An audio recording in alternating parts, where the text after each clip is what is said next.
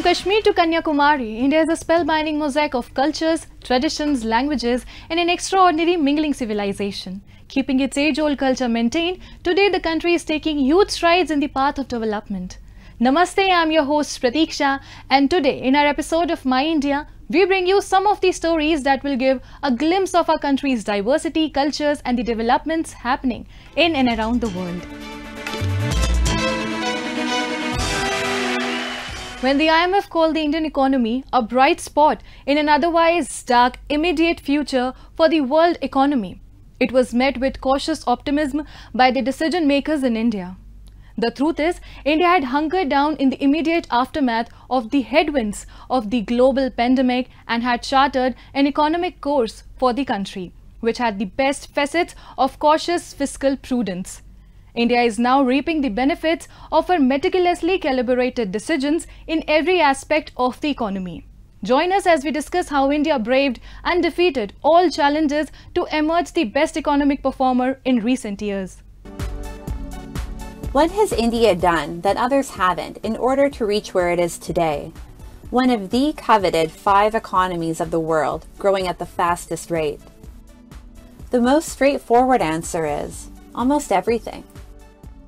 From strategizing long-term economic goals to effectively implementing reforms and measures, and from little tweaks for optimal results to complete overhauling of several frameworks, the brains behind the Indian economy have successfully delivered on both individual aspirations and the nation's progress. If you look at the annual data, annual data, as you rightly said, we have grown at 7.2%.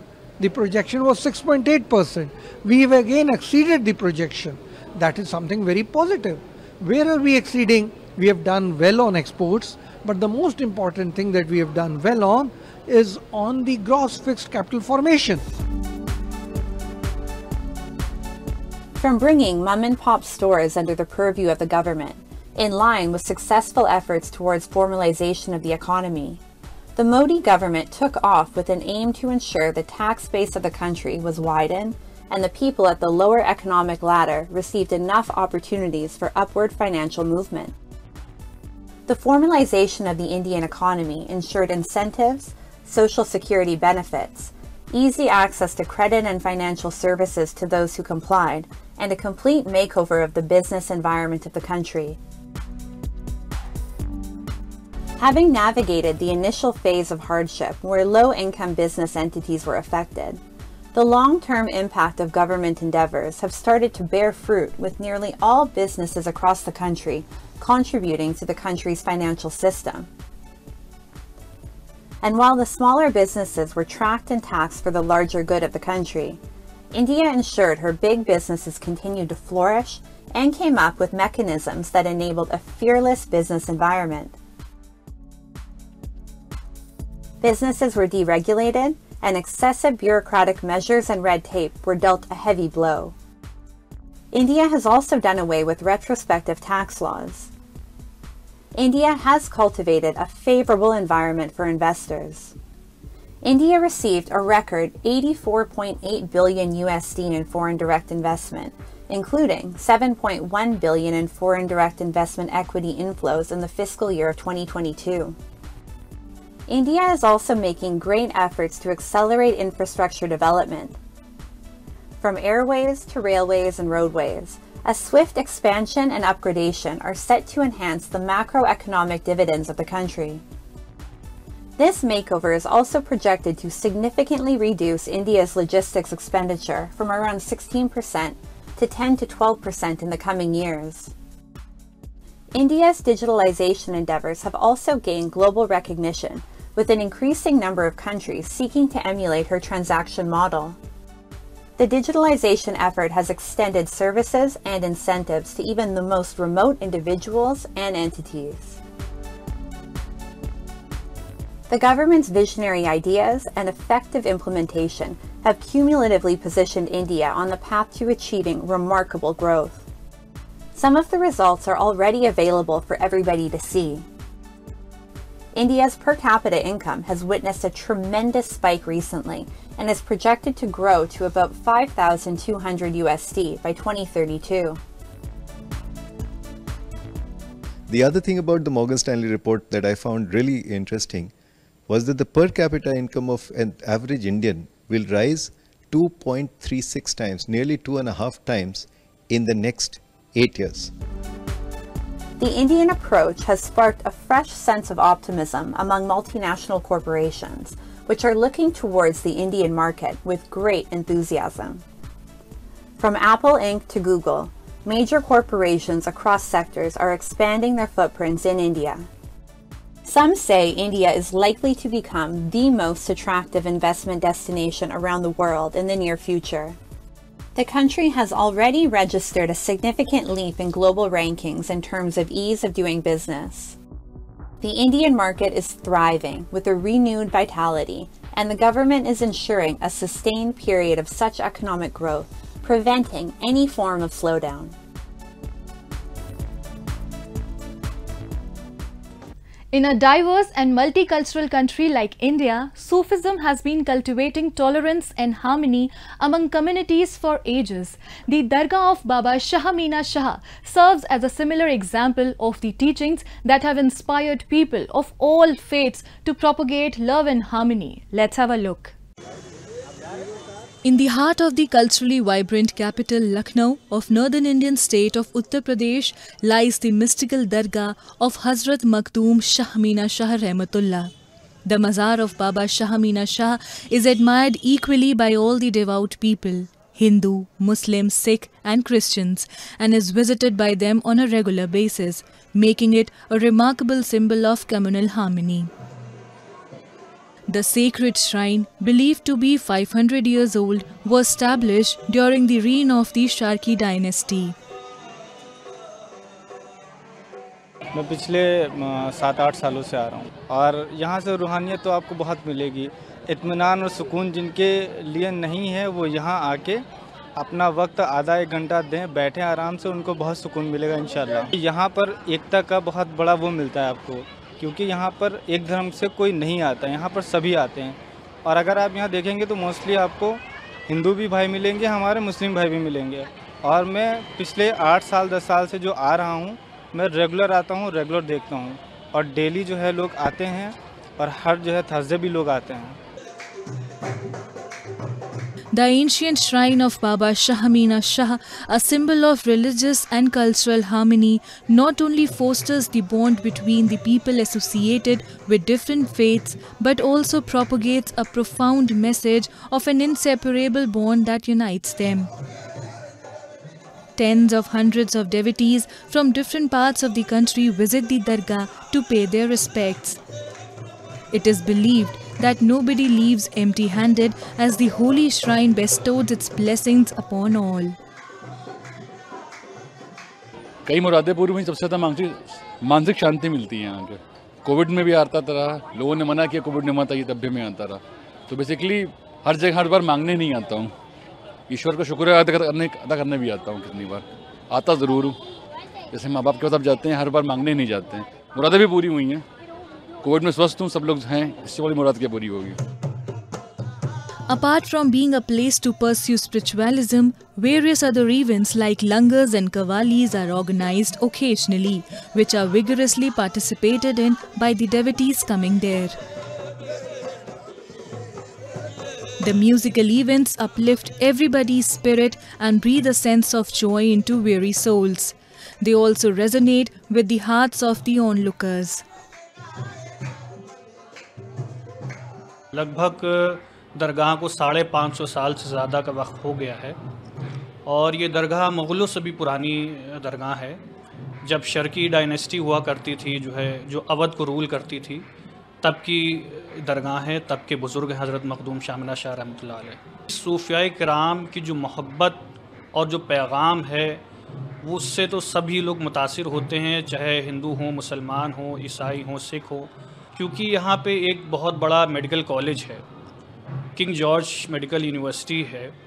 तो जो लोग परेशान होते हैं, जो लोग जो है अपने अकीदतमंद या जो एडमिट होते हैं, उनको लेकर आते हैं तो उन लोग के लिए लंगर का अहतमाम किया जाता है। वो लोग दुआएँ मांगते हैं, नमाज़ पढ़ते हैं और बहुत ज़्यादा तादाद में मखदूम शाह शाहमना साहब अलैह से दुआ के लिए आते हैं। Sufism, through its mystical teachings, have enlightened and encouraged the world to propagate love and harmony among all communities, the enduring essence every society always needed and needs for its well being. And now a roundup of some of the major stories that made news recently. India's space agency launched a rocket from the country's main spaceport in the southern state of Andhra Pradesh that sent a spacecraft into orbit and toward a planned landing next month on the lunar south pole, an unprecedented feat that would advance India's position as a major space power. About 16 minutes later, ISRO's mission control announced that rocket had succeeded in putting the Chandrayaan 3 lander into an Earth orbit that will send it looping toward a moon landing next month. If the mission succeeds, India would join a group of three other countries that have managed a controlled lunar landing, including the United States, the former Soviet Union, and China. The Chandrayaan 3 spacecraft would also be the first to land at the lunar south pole, an area of special interest for space agencies and private space companies because of the presence of water ice that could support a future space station.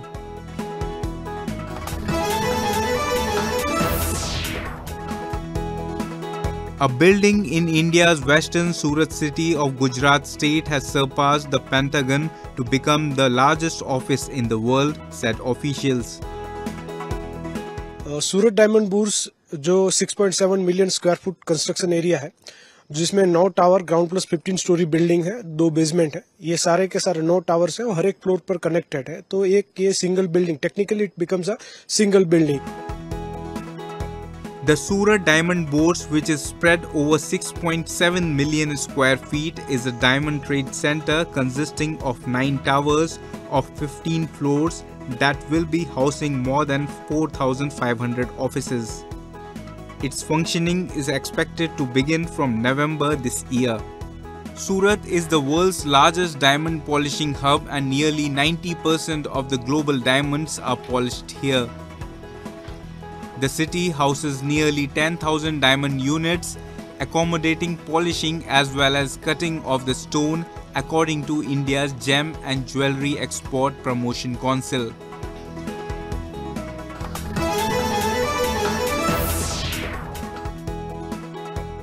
India's Tata Group will build an electric vehicle battery plant in Britain to supply its Jaguar Land Rover factories delivering a major boost for a car industry in need of domestic battery production to help secure its future. Well, we're having discussions with lots of companies and we're in competition with countries all over the world for these big investments. So obviously those discussions are commercially sensitive. Under the plan announced by the government and Tata, the company will build its first gigafactory outside of India in Britain with an investment of 4 billion pounds, creating up to 4,000 jobs and producing an initial output of 40 gigawatt hours. The BBC said the government would provide subsidies worth hundreds of millions of pounds to Tata. Britain has lagged European rivals in building electric vehicle battery gigafactories with more than 30 planned or under construction across the European Union. Britain currently has one small Nissan plant and another in the works.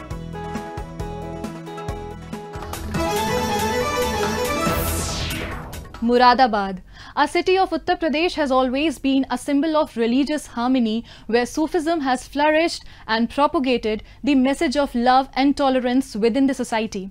The centuries-old dargah of Sufi saint Shah Mukammal Sahib is a testament to the living example of Ganga Jamuni Tehzeeb of our country. Today in our show, we take you to the holy shrine of Baba Shah Mukammal Sahib and witness how the holy shrine has not just been instrumental in cultivating an environment of brotherhood, but a lot more than that. Have a look. For centuries, the tombs and dargahs have served as popular pilgrimage destinations for both Hindus and Muslims. The key teachings of Sufism has always endeavored to uphold unity and togetherness among the various communities, and this practice endures even today. The centuries old mazar of Shah Mukammal Sahib in the Muradabad district of Uttar Pradesh is a shining example of communal harmony. Each day, thousands of people cutting across religion flock to Dargah to bow their heads and offer chadars. The Dargah of Baba Shah Mukammal is also believed to have played a pivotal role during India's struggle for independence. मैं बहुत ज़माने से दरगाह में और ये हज़रत शाह मुकम्मल साहब रहमत के मज़ार है और यहाँ वो मुरादें पूरी होती हैं जो कहीं हिंदुस्तान में नहीं होती। क्योंकि आपका नाम ही मुकम्मल है तो इसलिए मैं तो एक बचपन से यहाँ सर्व समाज के लोग आते हैं यहाँ ना किसी के साथ नीच है ना ऊँच है ना जाति है ना धर्म है। जो सरकार के मानने वाले हैं जो बाबा के मानने वाले हैं वो बाबा के दरबार में आते हैं और बाबा के दरबार से फैजिया करते हैं। People often come to these shrines seeking solace, escaping the hustle and bustle of daily life to establish a connection with the inner selves. The Dargah of the Sufi saint has always been a driving force behind the unity of the Hindus and Muslims in the region. They also say that the Dargah motivated them to join forces in the country's prolonged battle for independence. जी मैं यहाँ सन दो हज़ार दो से रहा हूँ अच्छा। और हजरत शाह मुकल्लम साहब ही हैं ख्वाजा करीम नवाज रहमतुल्लाह अलैह के यहाँ से हमारे आए हैं, शाह मुकल्लम साहब। और यहाँ सब हिंदू और मुस्लिम सब आते हैं। और एक यहाँ एक भाईचारा, अच्छे प्यार मोहब्बत और अखलाक के साथ यहाँ आते हैं। और यहाँ के जो हमारे कमेटी के लोग हैं, बहुत अच्छी खिदमत करते हैं। और यहाँ पर जो भी लोग अपनी तमन्नाएँ ले लेकर आते हैं तो वो सारी परेशानियों से मुक्ति हो है और उनकी परेशानियाँ हल हो जाती हैं The holy shrine of Baba becomes a happy place for music enthusiasts every Thursday as a number of them gather at the Dargah to entertain the devotees with their captivating Qawwali performances. People in turn come in large numbers to enjoy these festivities and pay tribute to the shrine. मुसलमानों हर धर्म के लोग आते हैं और सभी की मुरादें पूरी की जाती हैं यहाँ पर इंशाल्लाह पूरी होती है सबकी मुरादें बहुत बड़े बुजुर्ग हैं शाह मुकम्मल साहब बहुत पुराने बुजुर्ग हैं सबके सुनते हैं सबकी दुआ बड़ी अच्छी है The beautiful and inspiring tradition of Sufism has a lot to offer through its literature, poetry, and songs. For ages, it has propagated love and harmony in society, which is getting passed on even today. And now we bring you a few short stories about the recent developments and happenings from around the world in our section of World in Focus.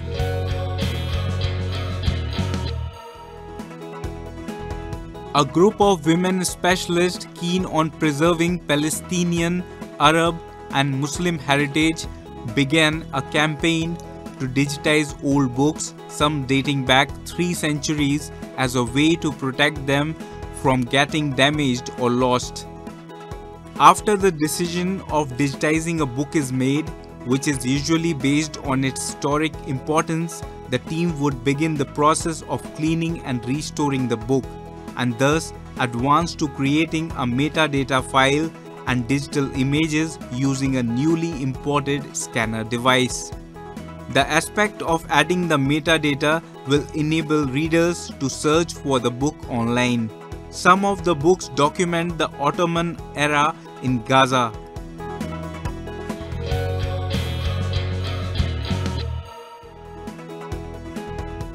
An opera about the penultimate ruler of Mexico, Tenochtitlan, sung in Nahuatl, pleased audience in Mexico City. The play is a multidisciplinary show with dialogue in classical Nahuatl language. The play is a multidisciplinary show with dialogue in classical Nahuatl language and features more than 150 performers including singers, musicians and dancers. Quetzalcoatl belonged to a ruling Mexica family and was the brother of the emperor of the Mexica Empire, Moctezuma Xocoyotzin. When Spaniards arrived, he ruled the region of the Iztapalapa, one of the most important cities in the area.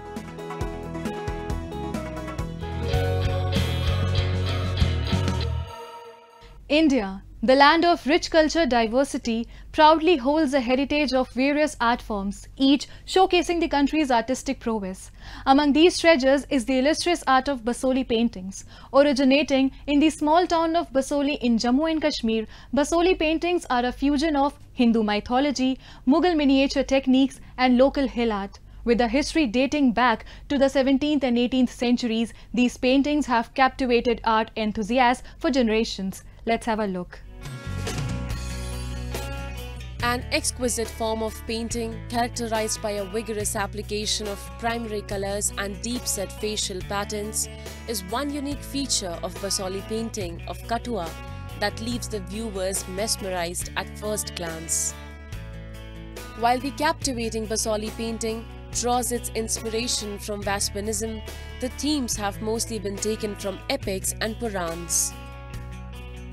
Hailing from the foothills of the western Himalayas, the art defies convention as it draws out the illustrations with vibrant and bold colors and has been spread throughout the regions of Jammu and Punjab.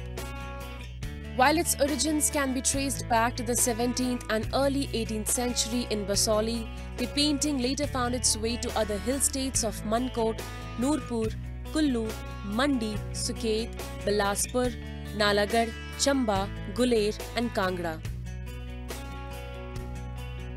The old eccentric art of Kathua have been awarded the geographical indication GI tag, making it the first art piece of Jammu and Kashmir to have the license to preserve its uniqueness.